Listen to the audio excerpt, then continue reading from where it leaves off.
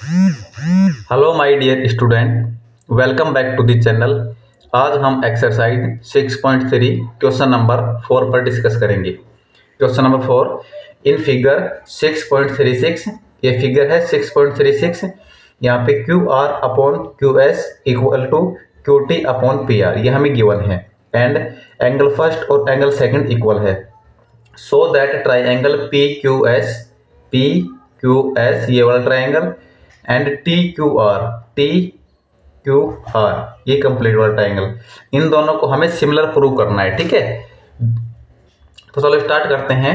Similar prove के लिए ये दो हमें गिवन है. इन साइड का रेशियो और ये दो एंगल हमें इक्वल है. ये गिवन है यहाँ से. तो स्टार्ट करते हैं यहाँ से. ट्राइंगल पी क्यू आर से.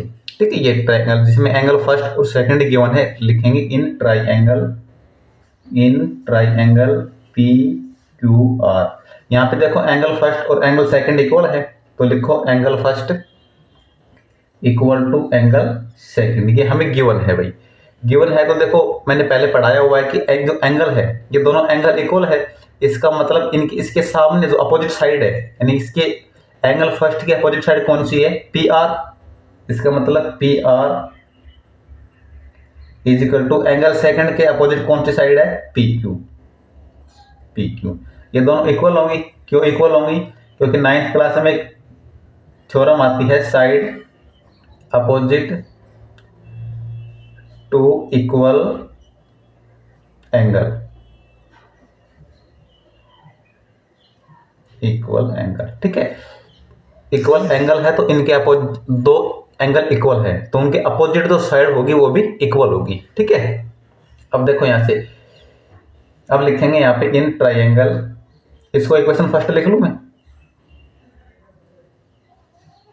यहाँ इसको इक्वेशन फ़र्स्ट लिख लेते हैं, ठीक है? यहाँ लिख लेता हूँ। लिखने तो यहाँ थी, चलो ठीक है। अब उसके बाद इन ट्राइंगल इन दोनों ट्राइंगल को लेंगे। पी क्यू एस जो हमें प्रूव करना है, उनको लेंगे। यहाँ लिखेंगे triangle P Q S and triangle T Q R ठीक है? अब यहाँ पे देखो गिवन है हमें क्वेश्चन में। क्वेश्चन में गिवन है Q R upon Q S equal to Q T upon P R. इसी को लिखेंगे। Q R upon Q S equal to Q T upon P R. इन दोनों ट्राइंगल की रेशियो है। ठीक है? अब देखो यहाँ पे फ्रॉम इक्वेशन फ़र्स्ट लिखूं मैं। यहाँ से लिखते हैं। भाई यहाँ से पी आर और पी क्यू है। तो मैं पी आर की जगह पी क्यू लिख लूँ यहाँ से। फ्रॉम इक्वेशन फ़र्स्ट से। पी आर की जगह पी क्यू लिख लो? इक्वल है दोनों।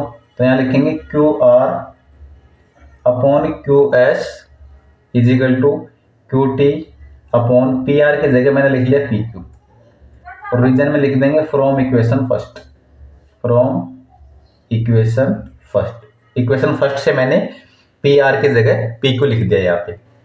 अब देखो यहाँ पे, ये तो ट्राइंगल देखो P Q S P Q S यहाँ से यहाँ तक है।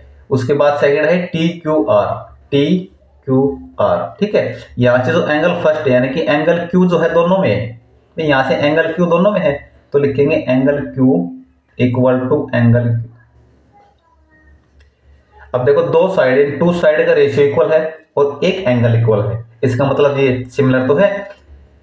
भाई, दो साइड इक्वल है, एक एंगल इक्वल है थ्री सेट हमें देखने होते हैं क्या इक्वल है और क्या नहीं। तो यहाँ पे दो तो साइड का रेशियो इक्वल है और एक एंगल इक्वल है। तो यहाँ लिख देंगे triangle P Q S similar है triangle T Q R के क्यों है? यह है साइड एंगल साइड से। ठीक है? साइड एंगल साइड से। यहाँ पे देख लो, इनकी साइड जो है क्यू आर क्यू आर और क्यू एस का रेशियो यहाँ पे क्यू टी और क्यू पी का रेशियो ठीक है? और इन दोनों का मिड में कौन सा, ये दोनों साइड हो गई? फिर ये एंगल एंगल और फिर साइड यानी कि साइड एंगल साइड रूल से ये सिमिलर है. तो आज की वीडियो में हमने क्वेश्चन नंबर फोर को सोल्व किया. नेक्स्ट वीडियो में नेक्स्ट क्वेश्चन को सोल्व करेंगे.